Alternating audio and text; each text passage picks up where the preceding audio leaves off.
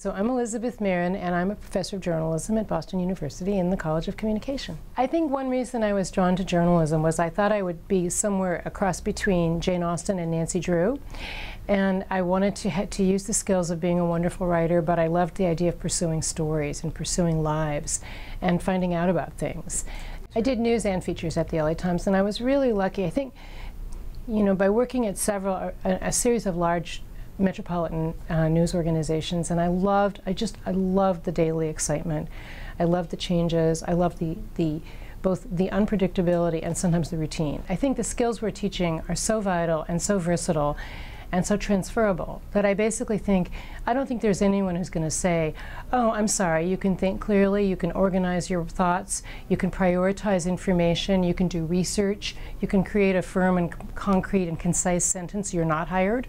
I took a really conventional, traditional route, which was conventional at that time. Now, it's a completely new world. These kids have so much ahead of them.